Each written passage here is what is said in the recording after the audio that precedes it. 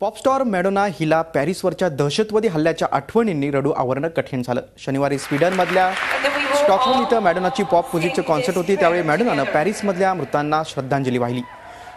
तेरा नोव्हेंबरच्या रात्री पॅरिसमध्ये झालेल्या हल्ल्यानं आपण व्यथित झाल्याचं ती म्हणाली. सोबतच दहशतवाद्यांचा हेतू कधीच साध्य होऊ शकणार नाही असा विश्वास त्यांनी व्यक्त केला यावेळी बोलताना मॅडोनाला भावना अनावर झाल्या.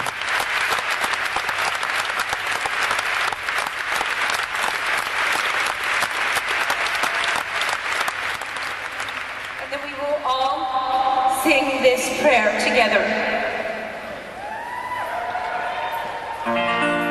Now, before we do go on, I would like to have a moment. Zee चोवीस तास रहा एक पाऊल पुढे